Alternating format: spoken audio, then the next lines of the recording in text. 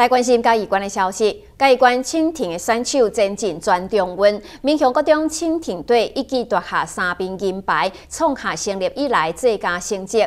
七年来，就由新港乡大潭角湖清气宽快学业训练基地练习。关长温章良二十三号前往视察，亲自落水来划单人蜻蜓。嘉义关教育处也向中央争取两百万班注入设备以及师资，来推动蜻蜓运动。开关蜻蜓选手前进全中运，面向国中蜻蜓队一举夺下三面金牌，创成立以来最佳成绩。七年来训练，目前在新港乡大潭乐湖清气宽阔的学育训练基地来训练，针对着落后的蜻蜓运动。该馆长王昌良二十三日前往视察，亲自落水。各着单人蜻蜓，嘉义县教育处也向中央来争取两百万万注入设备甲资，推展蜻蜓运动。所以我们认为这是一个值得发展的年轻人的运动。所以未来我们会延伸到文昌国小，那到布兴国小，那我们再看整个的运动的能量，那跟未来的发展，那有必要的话，我们慢慢的推动啊，让很多的国中小。那有兴趣想要玩蜻蜓这样的活动的年轻人，都可以加入这样的团队。所以今天特别来体验你的一下。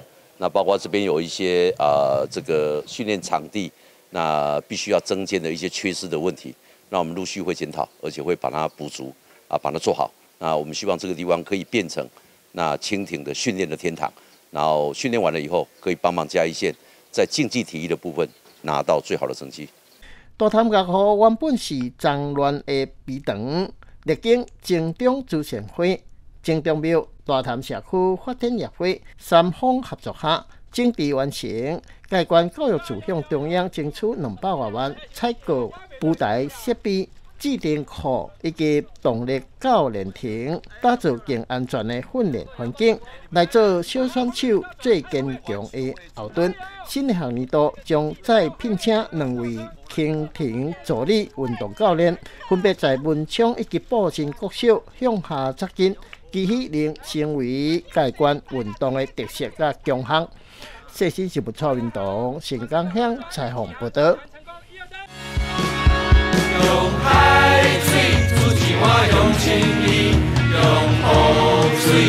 一个人情意，用露水冲一杯暖心意，甲伊你的甜蜜相亲。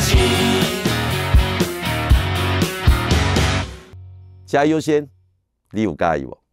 你嘞？